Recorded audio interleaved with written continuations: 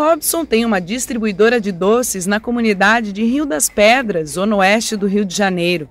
O negócio dele começou depois que enfrentou dificuldades. Eu comecei vendendo doce na rua. Aí, quando mudou a política do governo, começou a ficar muito difícil trabalhar na rua, né? Aí eu montei o comércio. O comércio cresceu, deu certo, só que surgiu a necessidade de legalizar para poder começar a trabalhar e fornecer mercadoria para os outros.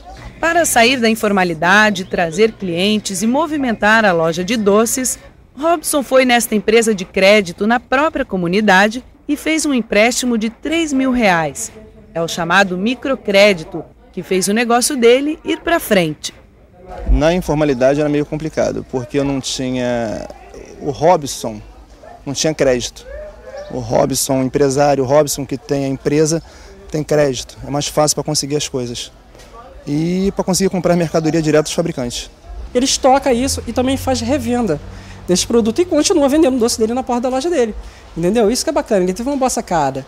E a gente tenta, a gente incentiva esses clientes que têm essas ideias bacanas para ele dar continuidade, extravasar realmente essas, essas grandes novidades que aparecem para eles. No Brasil, 51% dos trabalhadores são informais.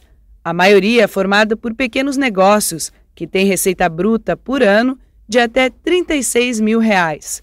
O microcrédito pode variar entre 100 e 9.500 reais e o comércio precisa estar aberto há pelo menos seis meses. E o crescimento aqui do, do da, da, nossa região foi. A gente tenta ajudar eles na medida possível. Cresceu muito.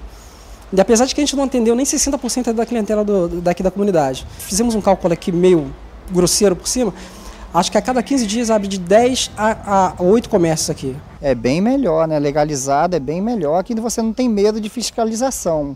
Não, não tem esse negócio de estar tá se escondendo, sem, sem nota fiscal de mercadoria. Agora eu vou poder botar a mercadoria até em cima do carro com nota fiscal. É bem uma responsabilidade, é, é um peso a mais, mas é um peso que vale a pena. É uma responsabilidade que vale a pena é, batalhar por alguma coisa.